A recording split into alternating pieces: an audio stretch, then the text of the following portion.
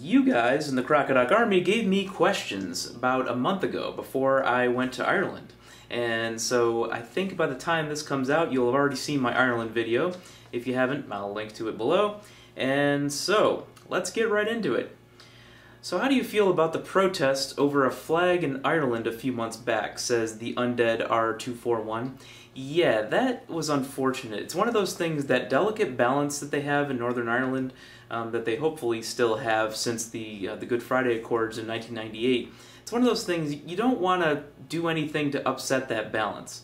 And by, by that stupid symbolism of how many days a year or a month or whatever it was about the flag and which flag was going to be flying over City Hall, as soon as you change something, no matter how relatively minor, it's going to upset one side and then it's going to make the other side happy and then that will start this whole conflict and there'll, there'll be this well we want this concession in return. It just of stirs up a hornet's nest. I don't even know why it was such a pressing issue that it had to be changed really shouldn't have been changed uh, WZ0077 says, Have you ever visited a psychic?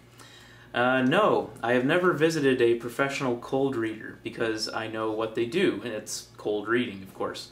Um, it's sort of like the John Edwards of the world. You know, they get up there and they say, ah, I'm getting someone in the audience who knows someone who died that uh, starts with the letters J or M or R or something like that, and then someone jumps up and like, oh yeah, that's me, and you know, it's total nonsense. But Anyway, so uh, Yarmo Tverin says, uh, Are you ever going to come to Finland? I have been to Finland.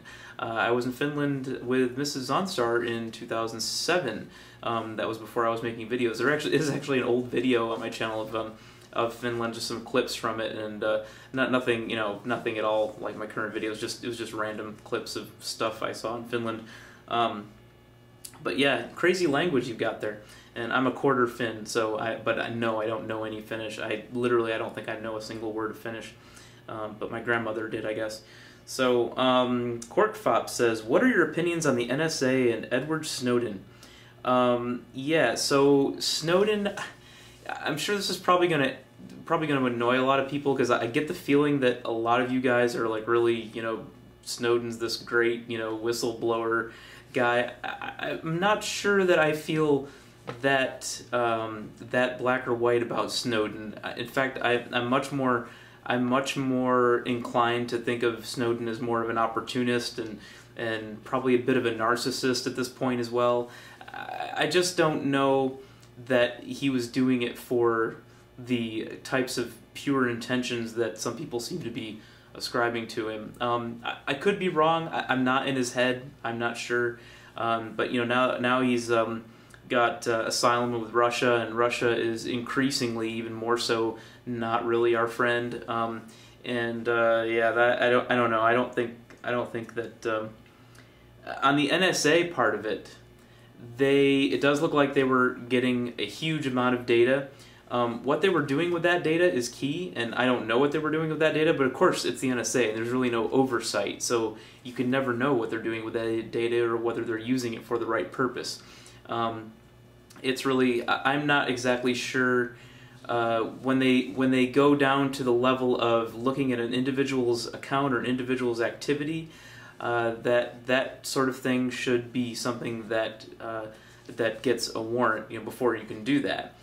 And data in aggregate, I am less concerned about, and I know that's something that probably a lot of people are like, well, you should be concerned about all of it. Well, Aggregate data, I'm less concerned about. Um, specific data, I'm more concerned about, and the amount of oversight has to be higher. I, am I'm, I'm not sure of all the answers to these things, um, but uh, I, I, there's a lot of there's a lot of gray in that. So I need to do more reading on it myself before I even come to a, a fully formed, completely you know a confident uh, conclusion for myself. So that's my take on it right now.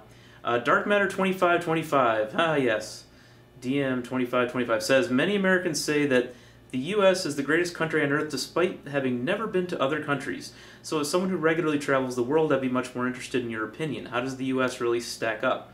Well, there are a lot of different. I mean, I've been to so I've been to a total of 23 different 23 countries, including I'm going to include the U.S. in that. So 23 countries, and I would say that one thing that stands out a lot with those other countries is the overall level of caring for your fellow citizens is higher, I think, in other countries. There's definitely a a very strong undercurrent. I don't even know if it's an undercurrent. I think it's it's just the current in the United States that people are like, oh, screw those people. They suck or they're lazy. They they don't deserve you know whatever. But I deserve whatever it is. You know, there's a lot of it, and I know that there's a lot. There's is of course a lot of there is to some extent some um, some selfishness with humanity in general, but the level to which people will say screw the other guy, but I'm going to get what I want and be totally fine with that, I think that's much higher in the U.S.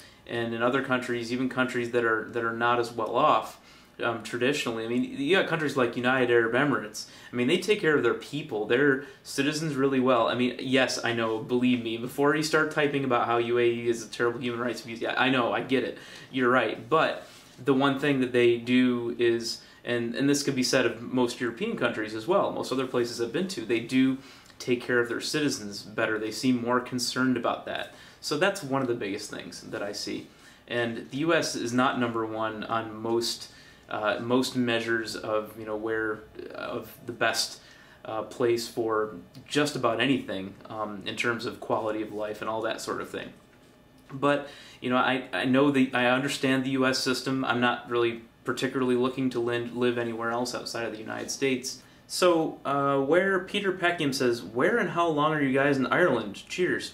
So we were in Ireland for a week. We were there for six nights. Spent uh, two nights in Galway, one night in County Cork and in Cork, and uh, then three nights in Dublin. So that was we were there. And Chris, the Asperger guy, says, if you could live in any historical area, which one would it be and why, and what ways do you think you'd be the same and different? It would be interesting to live in the Renaissance, I think, because that would be you could you could see firsthand. That is, if I was not like a, a peasant or you know some whatever whatever. Uh, if I were someone that were actually in the midst of all of that, um, all the human minds that are are sort of all sort of waking waking up to some extent uh, that that hey there's a whole there are different ways of looking at things other than the way that we've looked at things in the last thousand years in the Middle Ages and that kind of thing. That would be pretty fascinating to see, I think. So that Dan M guy, as opposed to that damn guy, says, "Is the Guinness really better there? I've been told it has to be modified for export. Yes, that's what they told us too. That it has to be modified for export. I forget exactly the reason. I'm sure there's. I'm sure someone will Google it, but." Um, the the Guinness there doesn't taste any different to me. I couldn't tell the difference, but I'm not really a Guinness drinker anyway. It's a little on the bitter side for beer. I like I like the the sort of not doesn't have to be super sweet, but that's a little too bitter Guinness for me. So not a not a big fan of it. Um, though it was good with the they, there was some black currant. I had some black currant put in in the uh, in one of the Guinnesses, and I was like, hey, that's that, that uh, softens it up a little bit. So anyway, uh, Grange34 says, Do you think there's more mental illness in the States than in other Western democracies? If so, why is this? More stress due to longer working hours?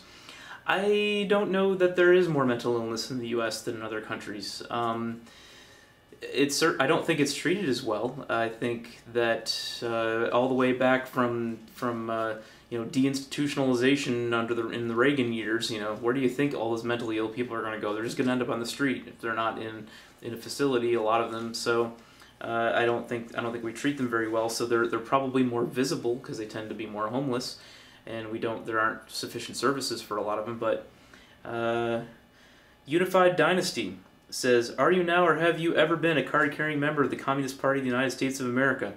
Well, Mr. McCarthy, no, uh, no, I have never been, and I'm not a proponent of communism in general. Anyway, it's it's one of those it's one of those I know I know everybody's heard it before, but it's one of those you know great on paper and like sure yeah we'll all we'll all work as hard as we can and we'll you know we'll all get what we need and yeah it never ever works out like that it just doesn't.